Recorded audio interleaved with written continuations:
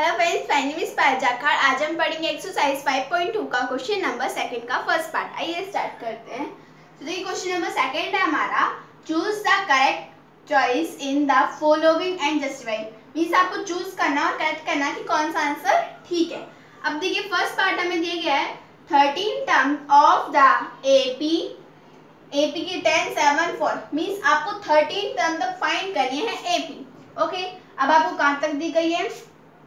A one A two A three और सारी find करनी ए थर्टी तक। ओके सो हम कैसे फाइंड करेंगे? ये देखिए ए एन का फॉर्मूला लगाएँगे इक्वल टू में लिखेंगे ए प्लस में एन माइनस में वन और डी ओके ये वाला फॉर्मूला लगाएँगे तो ए एन हमें फाइंड करना है ए हमें टेन दिया गया है, और एन एन हमें क्या दिया गया है?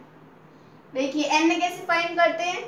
फ़र्स्ट ऑफ़ ऑल डी देखिए टेन में सेवन में से टेन माइनस करते हैं, जब हमारा क्या निकलता है? डी और क्या आएगा? माइनस का थ्री ओके एन ने हमारा फोर तो देखिए एन हो गया हमारा फोर माइनस वन और ये क्या है? डी डी क्या है हमारी? Minus three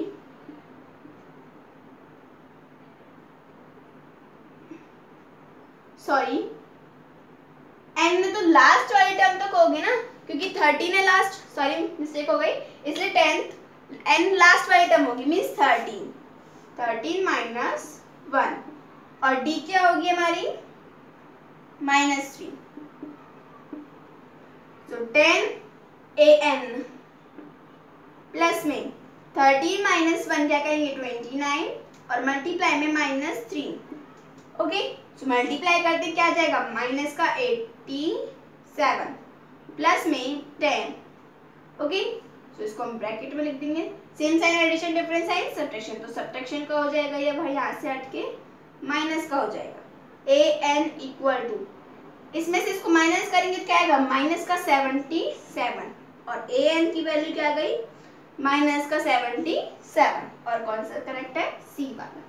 Okay so this was question number second ka first part. Thanks